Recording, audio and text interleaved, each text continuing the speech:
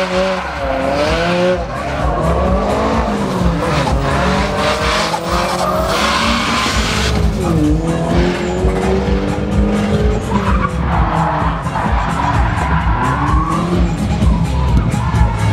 드리프트 안 하네.